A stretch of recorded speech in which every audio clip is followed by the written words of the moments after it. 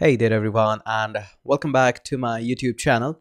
Now this is completely a separate video, not at all uh, included in the Android series or maybe whatever we are talking here. It's completely different and it just came to my mind that I should share this information with you. Now many times uh, if you're working just like me for with a lot of web apps right now I'm working on a React but doesn't uh, don't get scared of that.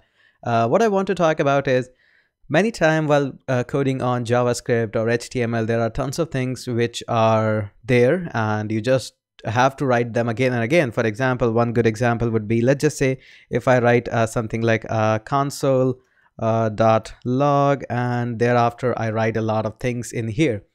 Now it's a good thing. Obviously logging out a lot of things on the console is good, but let's say you have to uh, for the teaching purposes or maybe for your own personal purposes, you have to write this quite a number of times. So writing this much of the things console.log, console.log is not a good idea. So what I want to talk about is in the Atom, which is a good editor, I'll talk about that in a second, you can actually write some code snippets, uh, just a couple of words, and as soon as you will hit the tab, it will expand to whatever you want to be. For example, I'll just write uh, CO for CON for console and I'll hit the tab and it will automatically fill the things like console log. Now, just like you might have seen the things uh, in the Emmet. So for example, uh, if I create simply a new file there and uh, I just save that with, uh, let's just save that for uh, some.html and I save that and notice when I hit an exclamation and hit the tab key, it automatically fills up the things for me. Now I don't have to write this much amount of the code uh, because this is just a boilerplate code and uh, writing that again again doesn't really make sense. So I like the things to be much more shortened for myself. And the editor that I'm using for this purpose is the Atom. In case you don't know what the Atom is, Atom is uh, really a nice editor. You can find it at atom.io. Now, I was a big fan of brackets, but suddenly the Adobe guys have started to slow down uh, the progress in the brackets. So I've switched on to the Atom. I liked it. In fact, I liked it better than the uh, brackets because it's completely hackable. By hackable, I don't uh, mean to say that it's vulnerable to SQL injection or so. It's hackable because uh, you can just uh, customize it the way you want it. For example, I have customized it uh, with the terminal console because I work a lot with the console. So I can just turn on this can log on into my console and can work out with it. Apart from that, I have also customized a little bit in the color scheme there. So I like it. It's completely hackable. So now coming back on to the file that I was working, it was a simple, uh, just a boilerplate code for our React application that I was working on. So what I wanted to do is I had to write this constructor here. Now this constructor is actually just a couple of lines, but it's a complete pain for me. So I wanted to be some kind of hack there so that I can just write a couple of words there and voila, it just automatically fills up the boilerplate code for me and just put directly cursor in this place. So that's completely possible in the Atom. Let me show you quickly how it can be done. Go to your Atom and click on your snippets. For the Windows, it might be uh, into your uh, preferences and snippets, but for me, it's in the Atom and snippets. I know the color is not the best in the world to be for the readable purpose, but I'll try my best to just give you a quick example.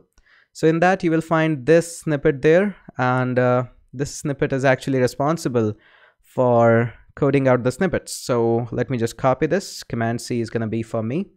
And let's go back there and just onto some fill up spaces. I'll just paste this. So Command V and I'll press uh, control and slash to just uncomment them quickly. So how do you write that? It's really simple. First of all, let's try to uh, write the things for the console.log and uh, then you will get an idea about that and then we'll write a constructor snippet as well. So first of all, it says source.coffee. Now, whatever your source is, just write here. For example, if you're working for Sass, then you can write a .sass. I'm going to be working with the JS. I can write JS there. Now it's for the console log. This is completely for you, what purpose you are writing your snippet there. Now prefix in this case is log, it's completely fine. The body of the console is gonna be console.log and it puts a cursor there. I don't like the cursor to be there. So dollar one is the first place where cursor is gonna be. I would like to just delete that and I'll put a pair of parentheses there and I'll write a dollar one there. Now dollar one is the first place where, where your cursor goes when you hit the tab. Now, for example, if I just uh, put another, just, just for the demo purposes, I put a dollar two there and I save this file make sure there are no errors there. Uh, the cursor will jump onto the second parenthesis. So I save that go back here and I like I write log there and I hit the tab key. Notice the cursor is right now blinking uh, in the first pair of parentheses there. As soon as I hit the tab key it just jump into the second pair of parentheses so that's how the dollar sign works. Pretty nice pretty easy. Uh, let's just get back to the syntax. I don't want it to be there. So this is the console log. Uh, this is quite useful. Now let's copy and paste that again because the goal was to write the react constructor is, uh, there. So in this case again dot source dot js is fine for me. And I like to write it for constructor and there we go I would like to add this as well so constructor, this is for generating the quick constructor for my props there uh, in the React. In case you don't know what that is, completely okay. Just I'm telling you how to write their prefix there. So in this prefix, I'll like to write as con for constructor there. Make sure your, your prefix uh, doesn't actually conflict with one, one another there. So that's the thing that you need to worry about. Now in my case, uh, it's not going to be just one liner. So it's going to be a multiple liner. So I'll add a triple quote there and I'll hit enter there. Make sure you indent it a little bit. It's good for reading purposes at least. And I'll go back there and I'll just cut this constructor. You can copy that as well, no problem. And I'll go back here and I'll paste that here. And also I would like to place a dollar one there because I want my cursor to be blinking inside so that I can uh, manipulate the state of the props. Again, don't worry. Okay, that sounds nice.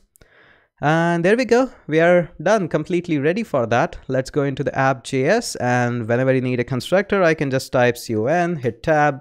There we go. Saves a ton of time for me. Now, I do write a lot of prefix when I work. Uh, recently, I've switched into the React.js. We are working on to a tons of project on the React.